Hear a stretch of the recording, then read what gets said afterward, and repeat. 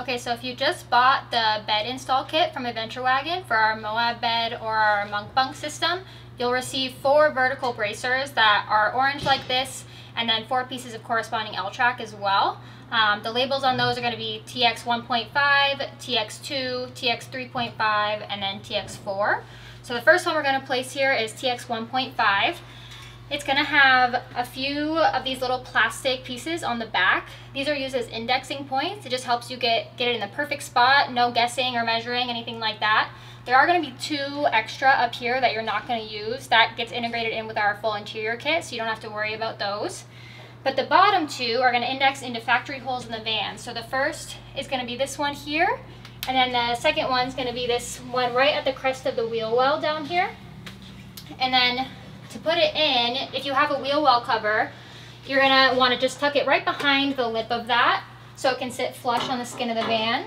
So I set the bottom one first, get it into place, and then you want to get your wiring chase out of the way if it is in the way, or your wiring harness, sorry. And then you want to pop the top one into place. And then it just sits all nice and flush like that. So once you have both those indexing points in those factory holes, you're going to want to set a couple set screws just to keep everything nice and tight when we move on to the next step. So there's a few pre-drilled holes that you can use for this. There's one here, um, right kind of below that TX 1.5 label. And then there's one down kind of like two-thirds of the way down, and then there's one right by our lower indexing point as well. So we're just going to set some screws in there just while we're setting our riv nuts, and then we'll back them back out when we've got everything attached.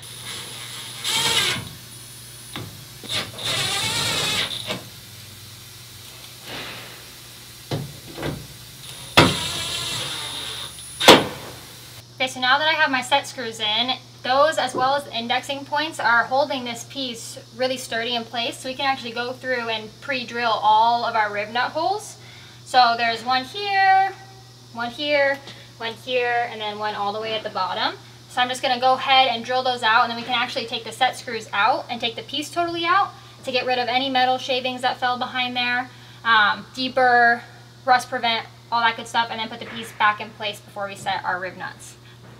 Okay, so now that I've drilled out all my 25 64 holes, I'm going to go ahead and deburr, rust prevent, and I'm actually going to take all the set screws out, remove the piece just to let any of those metal shavings from behind fall. Um, you can use an air tool or just brush them away, whatever works for you. And then we'll put the piece back in and then set all these riv nuts to really secure it in place. So I just re reinstalled my set screws. We'll take those out after we do the riv nuts. So I'm going to start with the riv nuts. I'm going to kind of start from this center one here and go up and then I'll do the bottom down.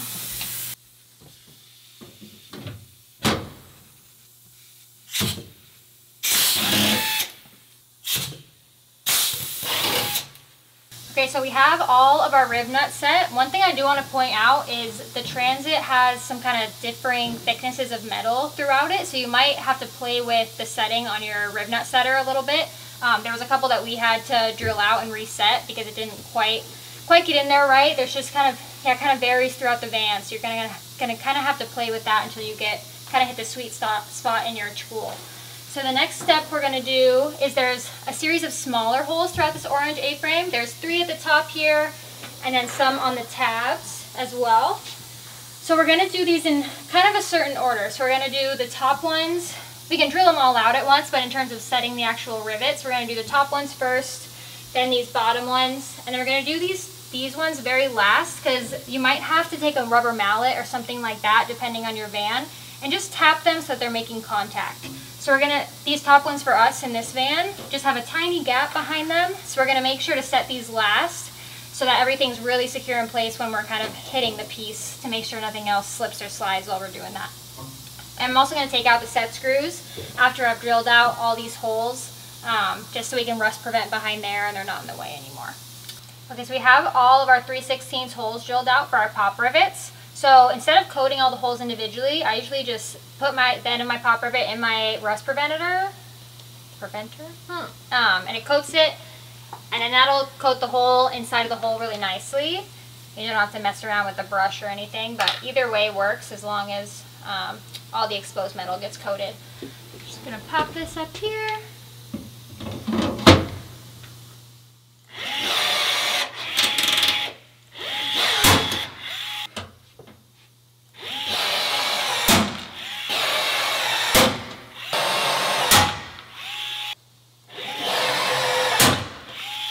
So we have all of rivets set, so I'm gonna go ahead and do this top piece. As we kind of move things into place, we actually ended up not having to mallet that at all. Um, but yeah, like I said earlier, totally fine if you have to do that. Just leave that to last when you have this all, all nice and secure. But ours ended up, as we made the, the other attachments, pulled itself closer in and is nice and flush now. After we have the vertical support 1.5 set, we can move on to 1.2. This is going to be right against your D-pillar by your back doors. So this piece is also going to have some indexing points on the back to slot into those factory holes. So it's got one at the top and then one towards the bottom here. So in terms of where those line up on the van, there's one here near this top horizontal support, and then there's one way towards the bottom down here. So I'm going to slot this into those holes. You might have to move your wiring up here a little bit. Okay, and this will sit really tight up against this back pillar.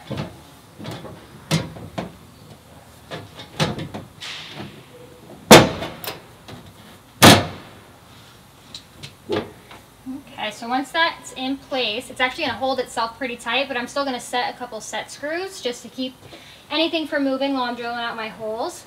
So I'm going to set one here, one here, and then one down here by my index point. Okay, so now that we have those three main set screws in, I'm to go ahead and set a few more. And I want to take a moment to kind of point out that all these, there's a lot of these pre-drilled holes throughout the A-frame. And the idea is that you could put your whole A-frame up before drilling any holes or putting any riv nuts in to make sure you've got everything aligned really well. I just want to make sure to say that you want to take all those out. So there's, you, want, you can see the larger riv nut holes kind of going in a straight line where your track's to bolt in. Any holes that look like they're in line with that or that the track would overlap, you don't want anything that sticks up. So that would be a set screw or a rivet. So you don't want to replace those holes with rivets or leave your set screws in. Um, so it's just yeah, it's, again, it's just to keep everything in place while you're kind of getting a feel for things or setting riv nuts, um, that sort of thing, but they'll all come out at the end. So I'm going to go ahead and place this one, this one, and then a couple at the bottom too, just to keep everything nice and tight.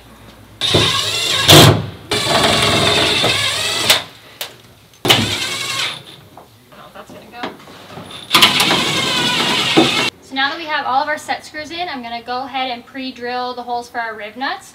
I've got my 25 64th drill bit here, and we're just going to go ahead and pre-drill all those out. So I was down drilling this very last hole, and this D-ring was kind of interfering with the drill, so I'm just going to uninstall that with a 13 millimeter socket, um, and just to get it out of the way, and then we can reinstall it when we're all finished. Okay, so now that we have all of our holes drilled, I'm going to go ahead and deburr, rust prevent, and clear all the metal shavings from behind, just like we did with the, the previous two pieces.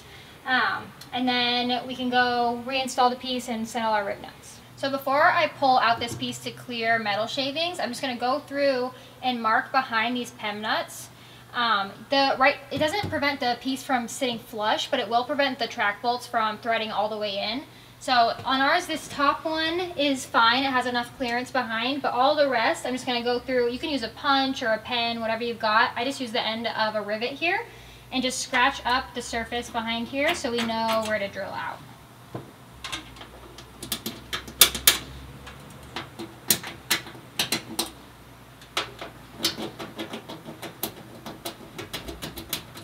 Now that we've marked the holes behind those PEM nuts, I'm going to go through with a step bit and just open them up. You can go pretty big with this. You don't want to go back, like have to be going back and opening back up after the piece is already set.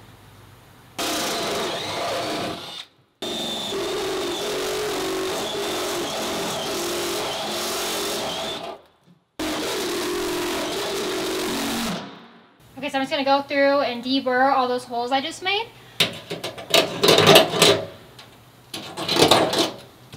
There's four total of these holes that we had to open up in addition to the ones that we drilled for the riv nuts.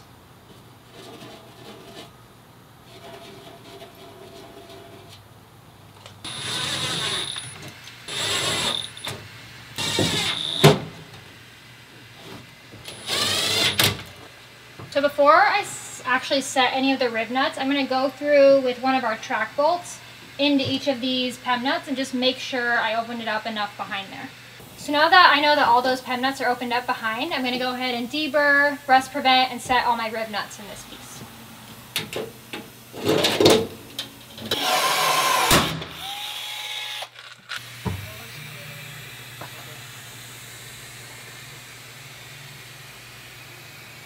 Now that we've set our bracers on the driver's side, we're gonna go over to the passenger side. These pieces are gonna be pretty much identical um, and use the same indexing points, just a mirror image. So the first piece we're gonna put in is TX 3.5.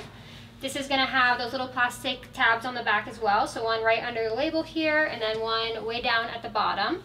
So those are gonna slip into two factory holes. One's gonna be this one here, and then the second is, again, right kind of at the crest of the wheel well down here. So I'm going to pop that into place. You might have to slip it under the wheel well cover like we did on the other side.